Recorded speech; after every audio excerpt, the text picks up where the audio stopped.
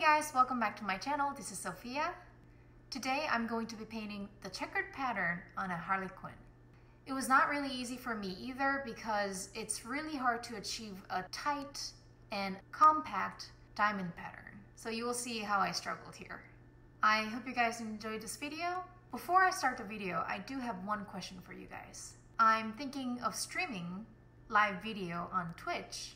So if I decide to do that, would y'all be interested? If so, please follow me on Twitch channel, and this is my Twitch channel. I hope to see you guys over there too. Anyways, now grab your brush and let's explore. Video starts right now. So these are the colors you'll need today.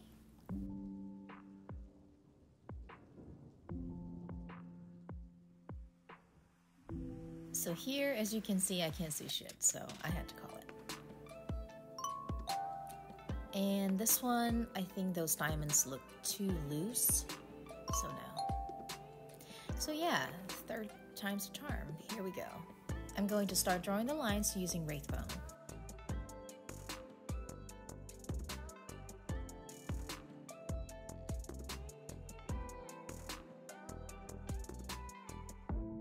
So you can totally draw horizontal lines to help draw the diamonds, but I found it very confusing. You know, it's already a really small surface, having all those quote unquote guidelines was actually more of a hassle, so I just used the vertical lines only.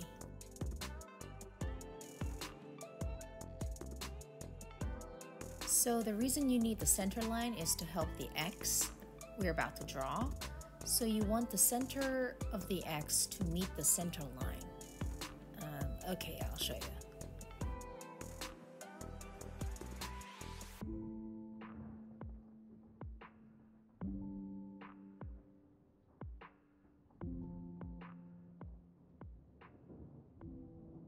Here, you just want to make sure to keep the spacing even on all of the subsequent parallel lines. Now here's what I meant by meeting the center of the X to the center line. Again, just keep the spacing even on all of the subsequent parallel lines. I'm going to paint my Harlequins a black and pink theme, so I'm going to use Pink Horror as a base color. You can use Screamer Pink here, but that was way too dark for what I was going for, so yeah. Now at this point, you don't really have to worry about the lines being clean, just try not to cover all the guidelines, but you can totally make mistakes here, it's fine. Just try to fill up the space thoroughly. Now we're going to use Abaddon Black to clean up and try to reclaim the space that we put pink horror by mistake. Now, before we move on to the next stage, you want to make sure that everything's clean and neat so feel free to go over multiple times to fix the shape. I'm going to use Fulgrim Pink to paint smaller diamonds inside the existing diamonds.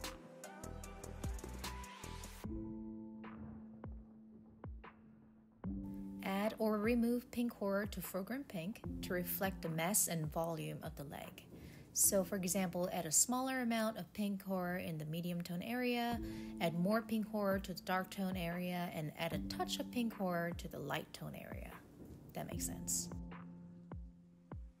Now I'm going to do the same thing on the black diamonds. For that, I'm going to use graphite from Scale Color.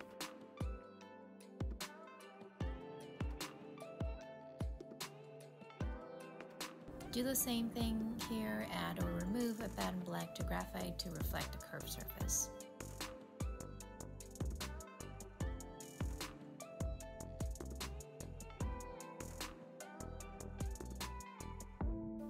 Looks pretty good so far.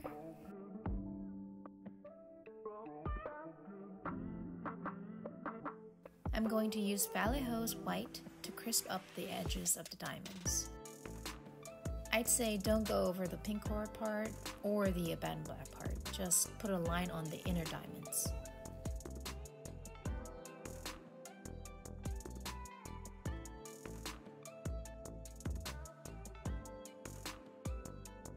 Now there you have it.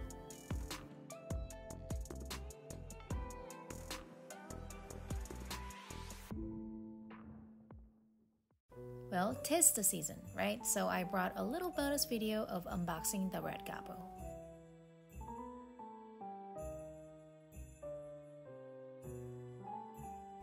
Previous The Red Gobbo was one of my first minis and I loved my Red Gobbo, so I'm super excited about this boy.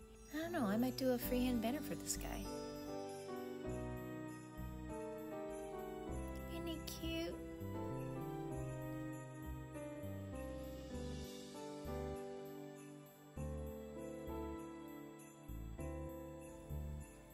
His face.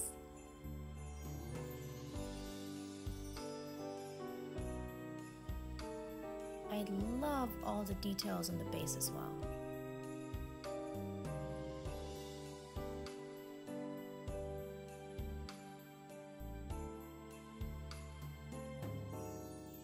Well, there you go. Happy holidays, everyone. Thank you guys so much for watching. Don't forget to like, subscribe, and leave a comment as well. I'll see you guys in two weeks with freehand Harlequin logo.